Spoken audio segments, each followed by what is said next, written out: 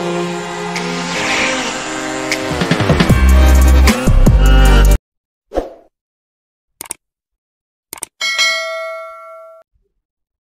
back to my YouTube channel Guruji commerce I am Ganesh Sinha आज हम discuss करेंगे कि 100 में 100 कैसे लाएँ, ठीक है?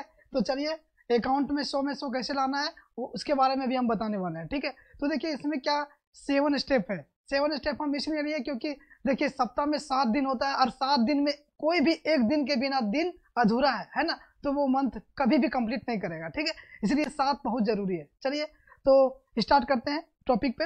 देखिए, सबसे पहला स्टेप क्या है? तो माइंड सेटअप ठीक है? तो माइंड सेटअप करना है, सबसे पहला टॉपिक है कि आपको पढ़ना है तो क्या पढ़ना है, कैसे पढ़ना है है ना? वो आपको माइंड सेटअप करना है है ना? जैसे मान लीजिए कहीं आप घूमने गए हो तो आप, यदि माइंड में आपका नहीं रहेगा कि हमको पढ़ना है उतना बजे तो आप कैसे पढ़ेंगे, ठीक है? इसलिए आपको माइंड सेटअप करना बहुत ज़रूरी है, ठीक है? सबसे पहला पॉइंट अब सेकेंड में देखिए यहाँ पे क्या आता है? सिलेबस कवरेज देखिए सिलेबस कवरेज में क्या होता है कि जो आपको पढ़ना है है ना? माइंड सेट कर लिया कि हमें पढ़ना है। तो पढ़ना है, कितना बजे पढ़ना है, क्या करना है तो वो आप माइंड तो पहले से सेट कर दिए, लेकिन अब क्या पढ़ना है, वो तो आपको सिलेबस ही बताएगा ना कि क्या पढ़ना है, ठीक है? अब क्या पढ़ने के लिए आपको सिलेबस ही, देखिए, यहाँ पे सिलेबस के बारे में भी पढ़ेंगे। तो देखिए यदि आप ये ट्वेल्व कर रहे हैं सी बोर्ड है आई एस बोर्ड है जेक बोर्ड है, जो भी बोर्ड है तो उसका सबसे पहले आपको ये प्रायोरिटी देना होगा कि सिलेबस इसमें क्या है है ना? उस सिलेबस के अकॉर्डिंग आपको पढ़ना है, ठीक है? और उस इस सिलेबस में आपको बारीकी से पढ़ना है। देखिए थर्ड पॉइंट में क्या है? ये टाइम टेबल ठीक है? टाइम टेबल आपको एक फिक्स करना है। जैसे कि अभी हम बताएँ माइंड सेट करना है तो माइंड सेट करते हैं तो उसमें सिलेबस सेकंड बताए उसके बाद क्या है? Time table. टाइम टेबल आपको बनाना है कि हमें अकाउंट में कितना समय देना है बीएसटी में कितना समय देना है इकोनॉमिक्स में कितना देना है है ना? इंग्लिश में कितना देना है। तो उसके बेसिस आपको यहाँ पे मान के चलना है कि हमको तीन घंटा, है ना? या तो चार घंटा, जिस तरह से आपको टाइम मिलता है, उतना आपको अकाउंट में समय देना है कि हमें अकाउंट इतना देर तक बनाना है। ठीक है? तो ये हो गया टाइम टेबल तो टाइम टेबल का हम एक अलग से वीडियो भी बनाएँगे बाद में है ना? अभी ये वीडियो हम आपको ये इसलिए बनाए कि सौ में सौ आप कैसे लाए है ना? अब अधिकतर बच्चों को देखते हैं ना जो टॉपर स्टूडेंट रहता है उसको देखते हैं वो सौ में सौ कैसे लाता है ये आप सोचते हैं वो कैसे लाता है? वो आखिर सोचते होंगे कभी उस आपका माइंड में ये भी चल रहा होगा कि वो कुछ खाता होगा अच्छा चीज़ तो तभी तो लाया लेकिन ऐसा कुछ नहीं है। बस ऐसा पढ़ाई पे है वो इस से, सेवन रूल को फॉलो किया है ना? जो सेवन स्टेप अभी हम बताए यही रूल को फॉलो किया है बस टॉपर लोग से पूछते हैं तो टॉपर लोग बताते हैं कि सेवन रूल को ही फॉलो किए हैं जो कि हम टॉप किए ठीक है? तो बस आप भी सात रूल फॉलो करिए और आप भी टॉपर बनिए, है ना? अब देखिए, यहाँ पे क्या है? टाइम टेबल आपको सेट करना है और टाइम टेबल का एक पर्सनल वीडियो हम आपको प्रोवाइड करेंगे। अब यहाँ पे देखिए चूज़ करेक्ट बुक अब फोर्थ में क्या है कि आपको करेक्ट बुक चूज़ करना है। कि करेक्ट बुक जो आपके स्कूल में चल रहा है, जो आपके कॉलेज में चल रहा है, यहाँ पे देखिए, यहाँ पे एलेवन ट्वेल्व के लिए देखिए, ये एन बुक बहुत अच्छा है, ये बुक प्रीफर करते हैं? इससे क्वेश्चन भी आता है, ठीक है तो ये बुक पढ़िए, और यदि आप ये C S C M A है ना सी एस कॉस्टिंग के लिए है तो आप जिस इंस्टीट्यूट से पढ़ रहे हैं, उसमें देखिए क्या चल रहा है ना, उसको आपको मिलेगा ये मटेरियल उसको आप फॉलो करिए, ये होता है आपको चूज़ करेक्ट बुक ठीक है? देखिए, लेकिन यहाँ पर आपको ये ध्यान देना है कि देखिए कभी कभी मन में आता है ना ये कोई भी स्टूडेंट है तो जनरली सोचते हैं कि नहीं, एक बुक पढ़ने से कुछ नहीं होगा, है ना? तो वो दो, चार, दस बुक पढ़ रहे हैं, लेकिन उनका दिमाग में बोलिए तो एक बुक का भी क्वेश्चन नहीं धसा है, ठीक है? तो आपको ये देखना है, दस बुक करने से, दस बुक पढ़ने से बेहतर होगा कि एक बुक को पूरा बारीकी से नॉलेज प्राप्त करना, है ना? जैसे कहते हैं ना कि एक क्वेश्चन को सीखे है ना? दस क्वेश्चन को सीखने से बेहतर है कि एक क्वेश्चन को दस बार करिए, क्योंकि एक क्वेश्चन को आप दस बार करेंगे तो उस क्वेश्चन के बारे में आपको डीपली नॉलेज मिलेगा, है ना? तो उसी तरह दस बुक से बेहतर होगा कि एक बुक को को डीपली से पढ़े। तो एक बुक को डीपली से पढ़ेंगे तो तो एक बुक को पढ़ेंगे तो एक बुक को डीपली से पढ़ेंगे तो वो नहीं होगा, ठीक है? तो एक बुक को पढ़ेंगे, दस बुक पढ़ने से बेहतर होगा कि एक बुक ही पढ़े, ठीक है?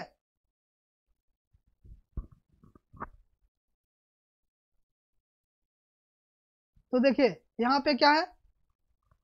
रेगुलर प्रैक्टिस अब आपको प्रैक्टिस करना है रेगुलर है ना? अब देखिए रेगुलर प्रैक्टिस करना प्रैक्टिस करेंगे तभी तो क्वेश्चन देखिए बनाते हैं आप, जो भी चैप्टर पढ़ते हैं। और यदि उसको फिर छोड़ दिए पढ़ने के लिए तो क्या आप याद रहेगा? नहीं याद रहेगा ना? ये भी ये भी तो माइंड है ना? इस माइंड में आप जो भर दीजिएगा, वही अपलोड होगा, है ना? अब देखिए, आप पढ़ाई से दूर चला जाइए, देखिए, पढ़ाई भी आप जो सीख गए वो भी भूल जाइएगा। आपको बस उसी की तरह फोकस करना है। एग्ज़ाम्पल एक हम लेते हैं आपको समझाने के लिए। देखिए, मान लीजिए आप अपने क्लास में, या तो नाइन टेन में कोई सभी दोस्तों के साथ पढ़ते थे, ठीक है? अब आपका वहाँ पे बहुत सारे दोस्त थे, लेकिन वही दोस्त यदि आपके साथ अभी ट्वेल्व भी कर रहा है तो उससे ज़्यादा आपको संपर्क बना हुआ है। लेकिन कुछ ऐसे दोस्त हैं जो कि नाइन टेन के बाद आपको छोड़ के चले गए, देखिए उससे संपर्क भी कम बना हुआ और वही बहुत दिन ज़्यादा हो, यदि बहुत दिन से आप नहीं मिलेंगे तो देखिएगा उसको आप पहचान भी ना पाएँगे। तो ऐसा कंडीशन आता है, बस जस्ट लाइक इसी तरह क्वेश्चन पे होता है, ठीक है? आपको क्वेश्चन को, आपको बुक को देखते रहना, पढ़ते रहना, तभी आप उस पर ज़्यादा नॉलेज अर्न कर पाओगे, ज़्यादा नॉलेज गेन कर पाओगे। तो यहाँ पे देखिए तो रेगुलर प्रैक्टिस बताए रेगुलर प्रैक्टिस आपको करना है। और देखिए, अभी आपको अकाउंटिंग में क्या होता है कि फॉर्मेट पे ज़्यादा ध्यान देना है, ठीक है? देखिए format represents importance of account है ना? फॉर्मेट क्या करता है कि ये अकाउंट्स का जो है, वो रिप्रेजेंट करना बहुत ज़रूरी है। यदि आप अकाउंट में फॉर्मेट कोई बनाना भूल गए फॉर्मेट भी नहीं बनाए तो आपको मार्क्स वहाँ पे कट जाएगा। इसलिए फॉर्मेट पे विशेष ध्यान आपको देना है, ठीक है? अब देखिए सिक्स में क्या है तो मॉक टेस्ट है।